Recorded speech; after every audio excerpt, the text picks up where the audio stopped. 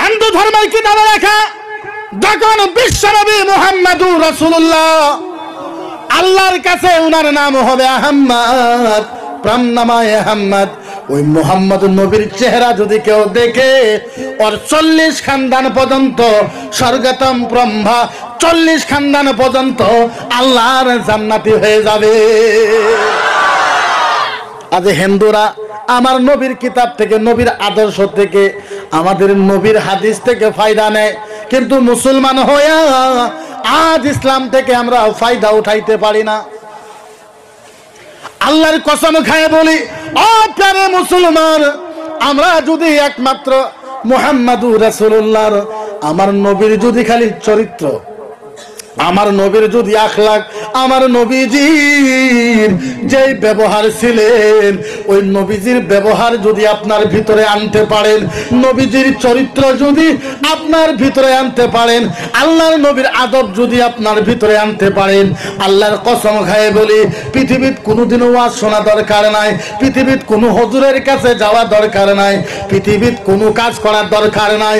এইটা কসম খায় বলতে পারি, যেই মানুষের ভিতরে আমার মদিনাওয়ালা নবীজির চরিত্র যার ভিতরে থাকবে আল্লাহর কসম, পৃথিবীর আগুন, ওই মানুষের শরীরের ভিতরে যদি লাগায় দেওয়া হয়, সারা পৃথিবীর আগুন শেষ হয়ে যাবে আর একটা পশম পর্যন্ত ফুটতে পারে না।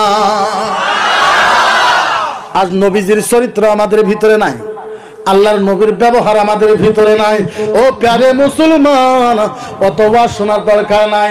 আজ আমি একটা গুণাগার হয়ে, ছোট্ট একটা আলেম হয়ে, ছোট্ট একটা বাচ্চা হয়ে আজ আপনাদের কাছে বিনম্রভাবে অনুরোধ করি, ও ভাইরা আমার নবীর চরিত্র, আমার নবীর ব্যবহার কেমন দেখেন?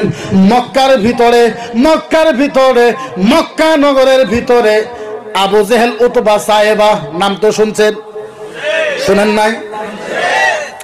আবু জেহেল সাহেবা উতবা এইটা প্রকাশ করে দিল মক্কার ভিতরে যে মোহাম্মদ হইল একটা জাদুঘর। নাউজুবিল্লাহ? তাহলে এই মোহাম্মদ হলো একটা জাদুঘর। এই মোহাম্মদকে যাই দেখবে, মোহাম্মদের সামনে যাই যাবে, এমন জাদু কইরা দেয়। বেলেগ ধর্ম বাদ দিয়ে ইসলাম নতুন ধর্ম কবুল কইরা নয়। সন্ত নতুন ধর্ম, ইসলাম সকল নতুন নামক কাতে তা আবু জেহেলেরা প্রচার করলেন যে নবী মোহাম্মদটা হলো পাগল আর জাদুঘর। এই মানুষটার সামনে যাই যাবে, নিজের ধর্ম বাদ দিয়ে ইসলাম ধর্ম কবুল করে নেয় তো মক্কার ভিতরে একটা বুড়ি ছিলেন। বুড়ি মানুষ বুঝেন তো? ইহুদি ধর্মের মানুষ ছিল। কি ধর্মের? ইহুদি ধর্মের বুড়ি ছিল। ওই বুড়ির কানে ওই কথা গেছে যে মক্কাতে একটা মানুষ আইছে নাম মোহাম্মদ, মানুষটা পাগল, নিজেকে নিজের নবী দাবি করে, বিরাট বড় জাদুঘর, ওর সামনে কেউ গেলে নিজের ধর্ম ভুলে যায়। এই বুড়িটা ভাবলো হাই রে হাই আমি তো ইহুদি ধর্মকে অনেক ভালোবাসি। তাইলে আমি যদি মক্কায় থাকি, এই মোহাম্মদের সাথে তো দেখা হবে। দেখা হইলে তো আমার ইহুদি ধর্ম আমি ভুলে যাব, যেহেতু জাদুঘর। এই বুড়ি মেয়েটা কি করছে, বাড়িতে যায়, ঘরের ভিতর থেকে সমস্ত জোগাড় পাতি নিয়ে বস্তা ভরছে যে মক্কা তার থাকব না। কারণ মক্কাত না থাকলে তো মোহাম্মদের সাথে দেখা হবে না, হবে? কথা কেন হবে? এই বুড়ি বাড়িতে গেছেন, এবার বিরাট বড় সমস্ত থালি ঘোড়া ধান চাউল বড় একটা বস্তার ভিতরে প্যাক করছে। দিনের নটায় কয়টায়? আশি বছরের বুড়ি, এই বুড়িটার তালা মারছে, এই বস্তাটা মাথায় উঠাবে, উঠাইতে পারে না।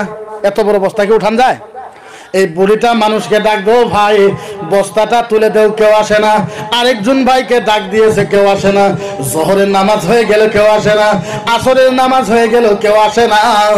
অনেক মানুষকে ডাক দিয়েছে, কেউ আসে না। আসরের পর সুন্দর একটা নূরের চেহারা, সুন্দর একটা জুব্বা পিন্দা পাগড়ি পিন্দা একজন মানুষ যাইতেছে বুড়িমা কিন্তু ডাকে নাই।